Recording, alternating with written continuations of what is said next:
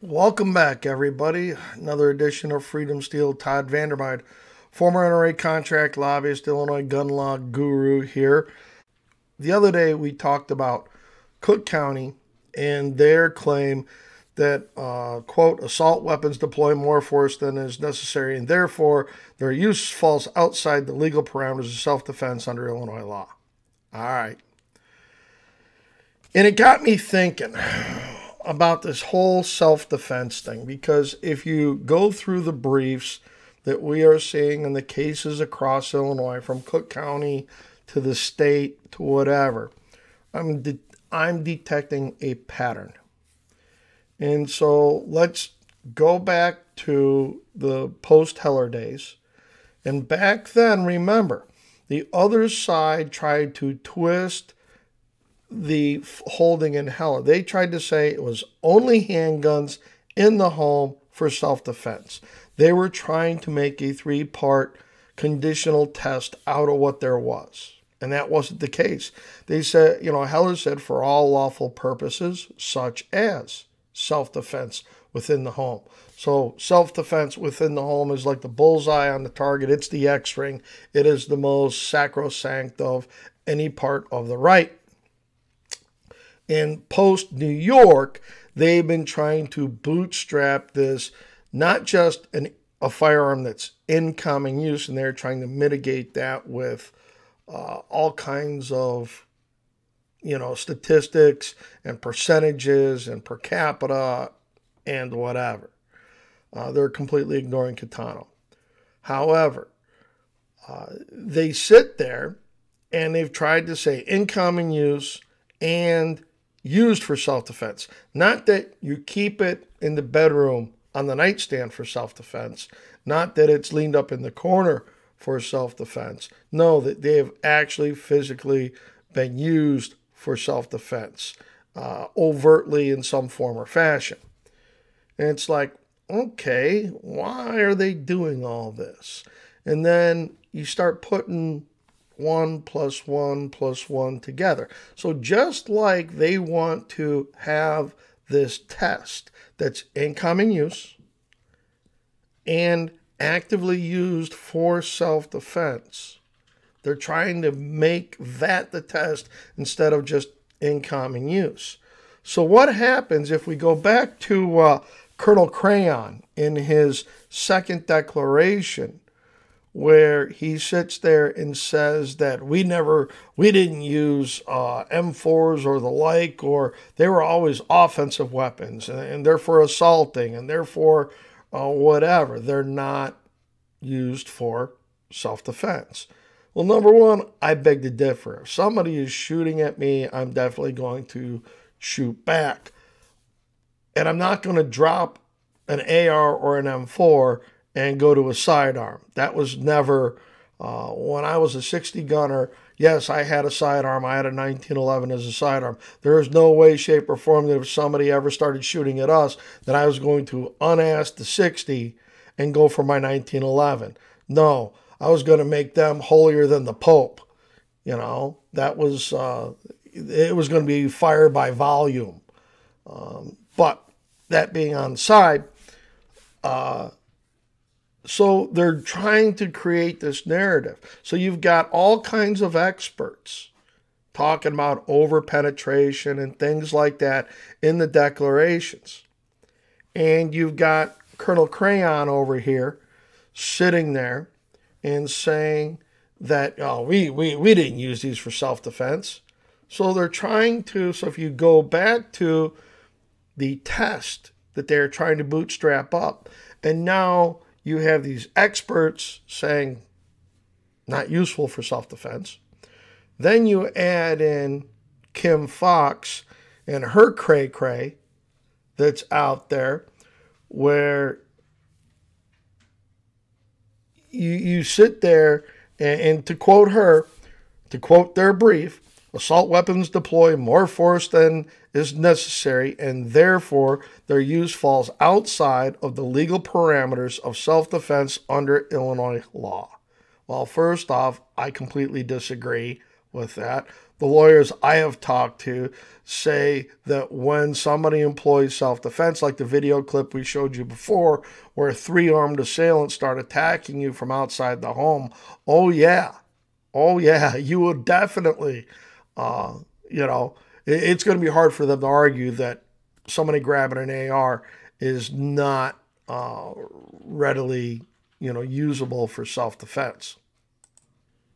They specifically cite, given the performance capacity of the regulated assault weapons, plaintiffs here cannot make a showing that the kind and amount of force discharged by an assault weapon would qualify as self-defense under Illinois law. Everybody knows you never go full retard. So let's kind of thread these two together. You have experts on one hand saying they're not useful for self defense. You have the anti gun legal establishment on the other hand saying it's illegal for them to be used for self defense. They can see no justification any way, shape, or form. Now, this has a couple of pitfalls in it. First off, what about pistol caliber carbines? You mean to tell me that a 9mm coming out of a 9mm platformed AR or uh, an MP5 platformed HK or clone, um, they're just shooting pistol caliber rounds. That you know, even a Ruger camp carbine in nine millimeter that is somehow illegitimate uh, when facing an attacker or multiple attackers. I don't buy it. But what they're trying to do here is they're laying all this groundwork, not for the district court, no. The reason they're filing hundreds and hundreds and hundreds of pages is to build a record for the appellate court and to build a record that they're going to flaunt in front of the Supreme Court. And what all this is, is it's them trying to discount any available usage of the most common firearms around for self defense. We've already seen in pleadings, oh, they're only used, you know, half a dozen times, you know, a, a mere, you know, 0.000 whatever percent of actual self defense shootings involve a, you know, involve an AR or so called assault weapon or whatever. And so, with all that, they try to diminish the usage the legal standing to use one, and the experts saying, doesn't happen, this is not what we would choose to use. And therefore, they are trying to say that these guns are never used in self defense, even though we know that they are. And because of that, they cannot be protected under the standard of review of Heller or New York. That's what they're trying to get at. They are trying to disqualify ARs by virtue of arguing they are not used in self defense. If you go back to the oral arguments and the Bianchi case, which is the Maryland challenge, the challenge to the Maryland semi-auto ban, the the state in there said that if the court was going to find against the state, they would want the opportunity to go back through their list and count each and every time each and every firearm enumerated on that list is used in self defense. That's how far down into the weeds.